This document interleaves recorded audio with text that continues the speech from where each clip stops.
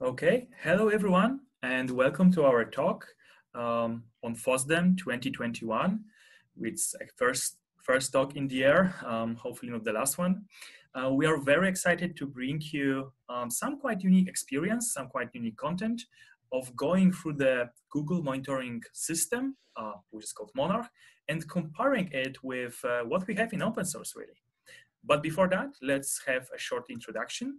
I'm here with Ben. Uh, hello, everyone. My name is Ben. Uh, I was an intern at Red Hat Observability team.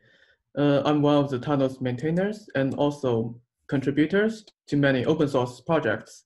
Uh, I like reading books, listening to podcasts, and playing soccer in my spare time. Thanks, Ben. Uh, my name is Bartek and I'm principal software engineer at Red Hat. I work for observability team and I'm co-author of the Thanos project and maintainer of Prometheus. And uh, I literally love community and working together in open source, building you know distributed systems, especially in Go. And I'm also active in the CNCF's uh, SIG observability where I tech lead there. So um, you're welcome to join us. Okay, let's start.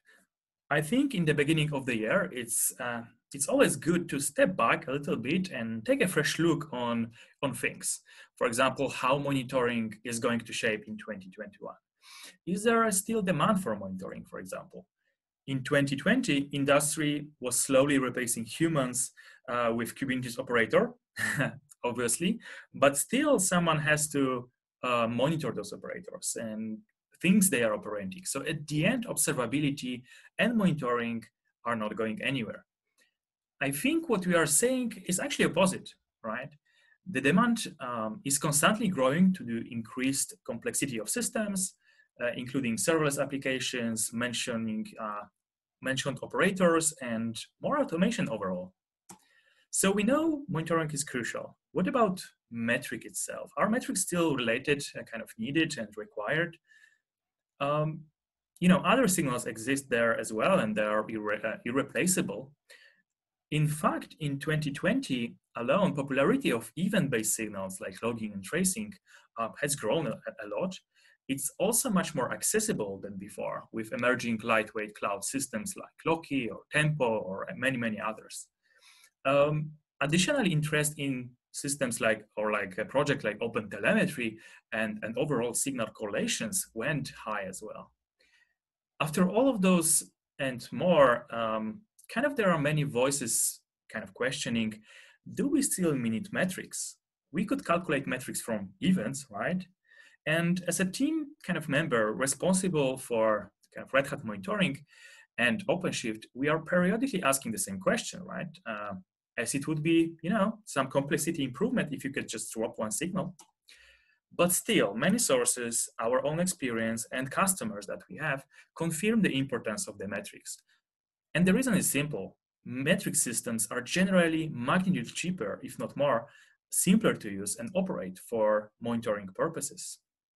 This is because metric uh, metrics cannot be the you know um, cannot by design store all the context of everything um, due to cardinality reasons. So users naturally um, have to focus on collecting aggregated information, focus on what matters. For example, service level um, indicators.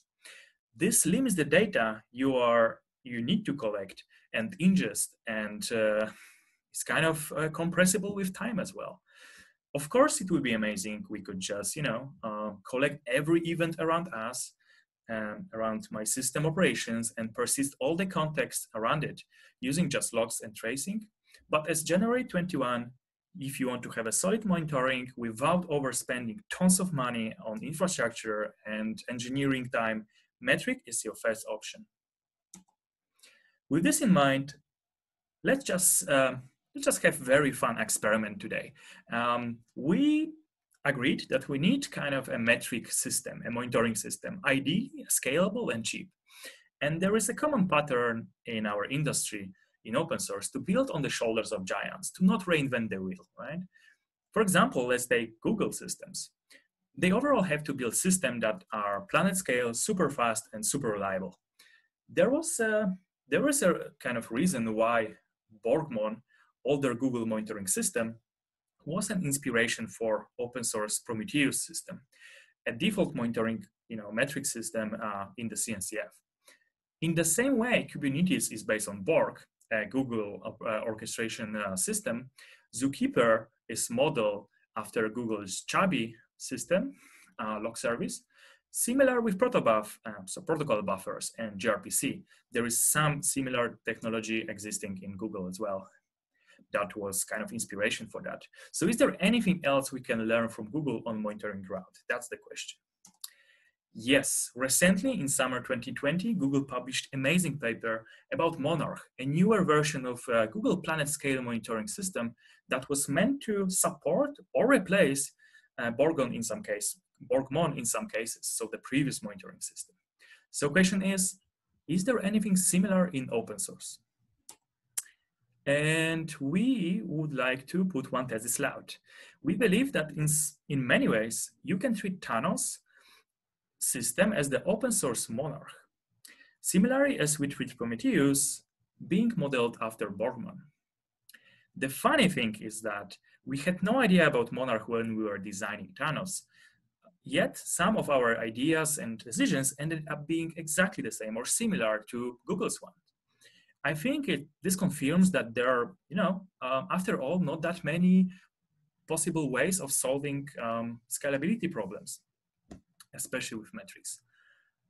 And uh, before we start, disclaimer, um, we, we are really admiring the engineering on Google side and, and overall engineering experience, but we have never worked at Google. So everything we tell you here is based on the official data published by Google, uh, especially for, from um, research papers and, um, and Google, uh, for example, SRE book.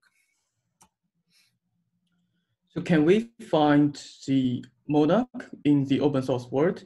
Uh, actually, as Thanos developers, after reading the Monarch paper, we find out that the Thanos architecture and design is very similar to Monarch. Next, uh, I will go through some parts of the paper, and by comparing the two systems, uh, I will show you the similarities and the differences between them. And behind this experiment, uh, we have one goal in our mind, which is to expand our horizons and learn what can we do better to improve the Thanos project. So let's first start from the use cases. Monarch as a monitoring system, the use cases are very common. Uh, the first one is for alerting. The second one is for displaying dashboards for services status. And the last one is for doing some ad hoc queries for uh, debugging problems and uh, exploration. So what about Thanos? And Thanos as an open source and highly available Prometheus setup, it definitely have the same like common use cases. So what we can say is that they are both systems that allowing to monitor, debug, and alert on workload state. So in the paper, we can find four main reasons why Monarch was created in the first place. Because as we know, a Borgmon, a previous uh, uh, monitoring system at Google, was already existing at the time. Overall, um, the main kind of the main uh, kind of motivations we listed here are kind of two limitations of Borgmon uh, that are standing out. First of all, the fact that Borgmon was centralized, or actually is centralized, sorry, decentralized, um, similar to Prometheus, actually.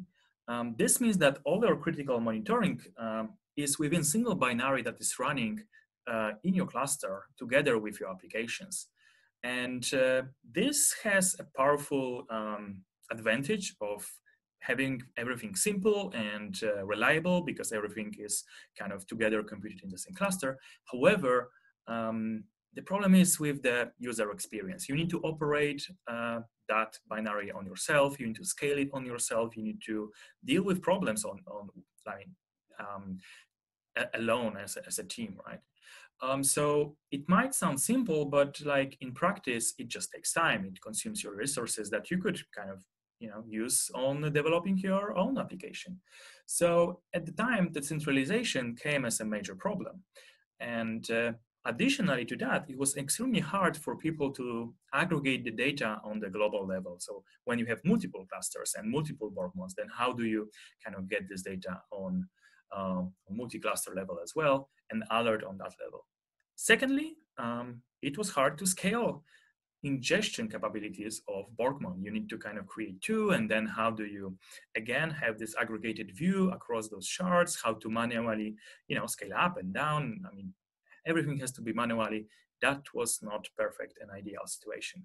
And funny enough, motivation for creating Thanos were exactly similar to those for Monarch, except instead of Borg-mon, we had a Prometheus that was a little bit um, limited in, in some various scalability cases. So the same as Borg-mon, uh, you know, Borg-mon versus Monarch, Thanos enables global view and optional centralized storage um, backed by object storage that was hard to achieve with Prometheus alone. With Thanos, it's also much easier to work on automatic ingestion and scraping sharding mechanisms, and even allow basic use cases like you know multi-replica Prometheus for, for example, a high availability um, for higher availability of ingestion. Thanos solves this problem, and that was the motivation behind that. Uh, so next, let's go through some high-level architectures between the two systems. So first, let's take a look at uh, Monarch.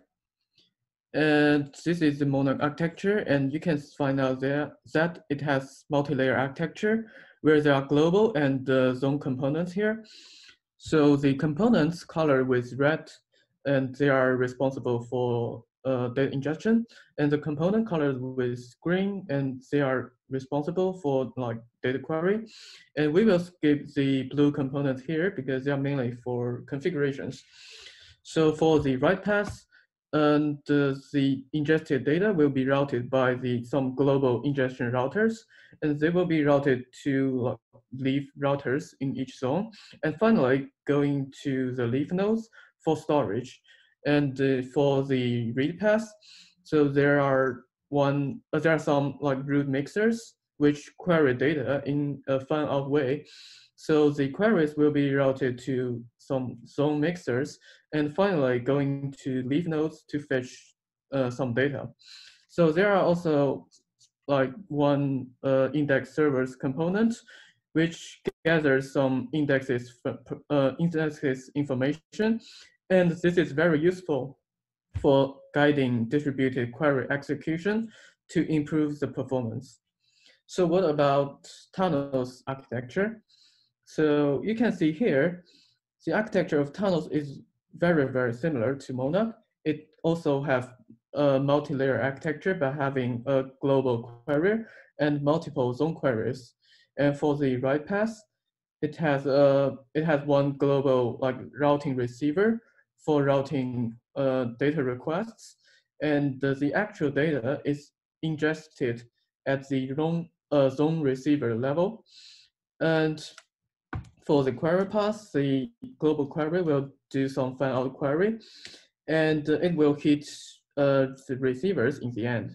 So for the data storage, the most recent data will be stored in memory at the receiver component, and the long-term data will be uploaded to the object storage. So Thanos provides a store gateway component for that purposes. So that's the design. And uh, next, let's talk about the data model. So there are some differences here. So in Monarch, the, uh, it stores some like time series data in schematized table, which means that you need to define uh, the table columns before you ingest the, the data. So in this diagram, you can find out that uh, it has multiple key columns and only one value column. So for the key columns, it can have two sources. And one is called target schema, and it's related to the monitored entity. So you can see here, it contains uh, a job column and a, a class column. So it's related to the entity itself or maybe some locations. And uh, the, there's another schema called metric schema, which is used for uh, describing the metric itself. So in this example, it's uh, RPC service latency. So it has two key columns for the service name and the command. So which uh, is useful for describing this like latency value. So like let's talk about Thanos. So Thanos uses exactly the same data model as Prometheus. So it's schemaless. So you can find out here that it contains one metric name and several uh, labels. Also one value type, which is a float number. But actually in Thanos, we have uh, one concept called external labels, which is very, very similar to the target schema in Mona. And it's useful for like grouping the all the target data together. And here in this example, uh, it's zone, which represents a location. So at the end, our conclusion for demo is that uh, although they have some similarities, and they are different in the design. So for next, let's talk about exemplars. So exa uh, Monarch has some built-in support for distribution, which is a histogram in Prometheus. And uh, one distribution can have multiple uh, buckets, and each bucket can have one one exemplar. So in this heat map diagram, there are multiple like grid points, and they are exemplars. So when you want to debug some high latency uh, requests or outliers, yeah, you can just uh, uh, click the exemplars here and go to the trace trace view for debugging, and uh, yeah, it's very useful. So what about uh, the Thanos ecosystem?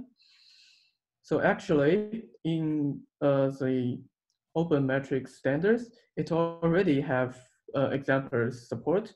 And uh, in some Prometheus client libraries, uh, exemplars are also supported as well.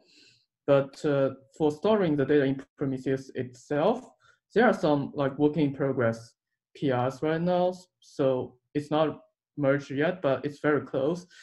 And the Grafana, it already have some like very fancy uh, exemplar UIs here, so which is very promising. And uh, for Thanos, once these like work in progress PR in Prometheus are merged, we can uh, just query the exemplars from Prometheus, and uh, the exemplar data can be propagated via remote write protocol. So at that time, we can implement the exemplars APIs at the store API level in Thanos, and then the users can use uh, exemplars in Thanos. Okay, going with, uh, with the order of Monarch paper deep dive, um, we came to the metric collection. It's definitely, well, more complex than it sounds, but in principle, applications in Monarch um, have some libraries, ready libraries that are pushing metric samples in required frequency to the ingestion router, which is co-located in the same cluster. And then this ingestion router is responsible for discovery and making sure, uh, making the decision where um, to forward, to which uh, zone or destination cluster uh, forward given um, um, data. So this feels great, but in Thanos, we um, kind of leverage the existing Prometheus stack. And there is a reason for that. First of all, let's explain how it works. So in client, on client side, um, we can reuse existing instrumentation, from Prometheus instrumentation, and, uh, and use essentially pool model, which is in our opinion, much, much better uh, model for general type of infrastructure. infrastructure. It's much easier to ask application to expose open metrics protocol and control discovery and scrape frequency and remote write complexity from the single agent purpose that we deliver instead of having this implemented uh, in each of the um, client implementations. And while this is possible on Google side, it's impossible to reproduce the same in the community because um, the push mechanisms are just much more complex. And we are talking here about retries, limits, buffers, and, um, and all potential languages and instrumentation libraries in the open source would need to implement that and it's just hard to implement like in one place. What about the whole world? Because of com co uh, compatibility and simpli simplicity, we chosen to leverage Prometheus and Open Metrics for client metric collection. Funny enough, um, when you look on the both diagrams on the left uh, for Monarch and right on, on Thanos and Prometheus ecosystem, they kind of looks at the end the same. They have kind of, you know, the same amount of components. And uh, well, this is proving that whatever you choose, push and push and pull, they are at the end scaling in the same way. Um, it's really about the small trade, or like smaller or bigger trade-offs that you are uh, balancing between. Um, it's worth to mention also that even with open metrics, there are possibilities to push metrics in very edge cases like serverless, that might be not edge case anymore because it's more and more popular, but also bad jobs and stuff like that. You can totally do that, but it has to be by design minority of your requests. Now, let's talk about the server side, where things are even more tricky because you need to make sure the receive part is uh, reliable and scalable. So how Monarch is doing this? So first of all, Monarch is taking the, um, the, the, the, right request from, uh, from the ingestion routers into leaf router, and it forwards that further down into target leaves responsible for uh, given target ranges. So everything is sharded by targets. This leaf is writing this data into memory and then uh, recovery um, persistent log. And uh, this data in memory is then used for querying as well. In the same time, it is uh, performing a light compression, uh, which um, is interesting that it shares timestamps from the same targets and also performs delta encoding this is really similar what uh, what Thanos is doing, and uh, we have receiver instead of kind of leaf, um, and generally it um, essentially um, have the forwarding capabilities. So you you have that in your receiving cluster. You have receiver that can forward to the proper receiver uh, based on the hashing configuration.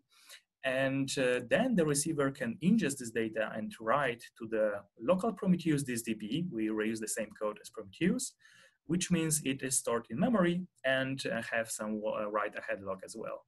At the end, TSDB also encodes this time series using Gorilla encoding, which is uh, a certain version of Delta encoding at the end. Monarch is mainly uh, designed for storing data in memory, but as the paper mentioned, it also like have some uh, durability support. So it uses some log files for uh, durability and a long-term a repository for storage.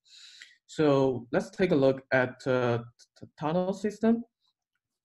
So uh, in Thanos, uh, we have a Thanos receiver, and uh, the like the key difference here is that the uh, Thanos receiver will not keep all the data in memory forever. So it uh, once the data is written to the storage, it will return to the write ahead log first, and every two hours, the data will be compacted to a block and uh, uploaded to a remote object storage. And uh, in practice, there's one more pattern, and we can apply this the same pattern to Prometheus uh, with a sidecar. So this is uh, extremely useful because if you don't want to set up the push model, yeah, you can just you add one sidecar to your Prometheus and it works uh, perfectly well. Uh, next, let's talk about the query, query language they use. Uh, in Monarch, mm, they use their own query language. I will not introduce this in detail, but it's really like human readable. So it uses some like filter operators to select some columns. And it also does one join, a group by, and uh, finally aggregate on the latency. So yeah, you can find the like uh, results here. It contains one uh, key column for label and one label column for the latency. And uh, in the Thanos ecosystem, Thanos just use, reuses the same like prom standard PromQL. So it's uh, simple, but also powerful. It also supports uh, aggregations and joins. And, but the most important thing is that uh, it has 100% PromQL compatibility, so it can use the awesome like monitoring mixins. And so users can have like out-of-box Grafana dashboards and alerting rules. So if you are interested in this, you can check out this website. And next, let's talk about the different query types. Monarch has two, like you usually have two use cases for query. One is ad hoc queries. It's very easy to understand. It's just users using some like web UIs for like debugging or exploration. And another type of query is called standing queries. They are just periodically a periodic query whose results will be like written back to the Monarch system. And this is one uh, example diagram here. The evaluator sends out standing queries periodically. And finally, the results will be written back to the storage node, which is the leaf. And uh, in Thanos, actually, if you are familiar with the Prometheus ecosystem, you will find out that it's exactly the same thing as recording rules and alerts. So in Thanos, the Thanos ruler does the same job as the evaluator. It queries the querier and writes the results to its local TSDB. And but recently we are we have this proposal to improve the scalability of ruler, and we are redesigning the ruler to have uh, remote uh, remote receiver clusters as its storage, which means the results will be written back to the receiver clusters. And after we read out the Monarch paper, we find out that that's exactly the same design. Now, I hope you are ready for the last but not the least feature that Monarch has. This is something I'm incredibly excited about, as Thanos is literally unintentionally designed for this kind of, of amazing optimization. And Google actually describes uh, query execution to be scalable thanks to the primarily this feature, which is query pushdown capabilities. How it works? Well, let's look on the diagram on the right. With such Monarch architecture, uh, let's imagine naive query that sums some metrics over time and groups them together. In a naive approach, we would need to fetch all of the samples matching uh, from each of separate leaves nodes, then pass through the mixers and then process those on the root level. Lots of data pushed through the network, probably across different uh, you know, zones. This will cost a lot. Now, with query pushdown, we are pushing the query evaluation deeper into the stack um, actually as close as possible to the underlying data, which is an amazingly, um, enormously kind of uh, beneficial um, to do. Instead of you know samples on the leaf node, uh, we return kind of only evaluated results, so a sum of subset data, data then the mixers has to merge that uh, into bigger partial result, and then at the root, you are merging like just a couple of sum results and present that to the user. Obviously, um, you know, it reduces the network usage significantly, significantly, as well as allowing full or partial concurrency, which is super amazing. Uh, worth to mention that obviously you cannot potentially um, use query pushdown for all kind of aggregations, like for example, top K. However, for most of the typical queries, we can do this optimization. Now, the, why it's amazing? Because we can apply exactly the same logic on Thanos side, where Querier will push down computation to underlying leaves.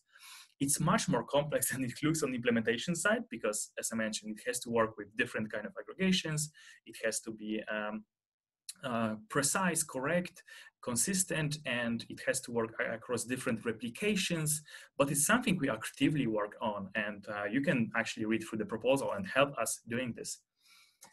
Okay, um, we didn't cover all the you know um, kind of differences for example multi-tenancy downsampling versus monarch aggregation uh, replication on both sides but at the end we learned a lot uh, and we learned that monarch is indeed kind of i hope you agree yeah, like similar um, there it has more similarities than differences between um, each of those systems and we also learned what we can improve in future we could create, you know, uh, we can improve Thanos Prometheus encoding, for example, by sharing the timestamp of the same target, which we learned.